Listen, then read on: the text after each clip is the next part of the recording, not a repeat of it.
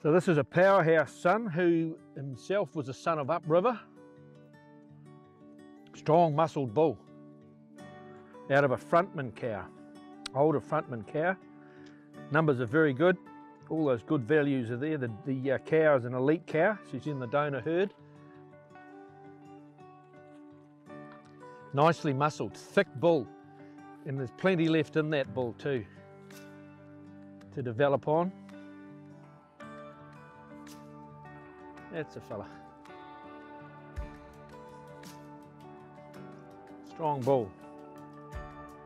Lot 35.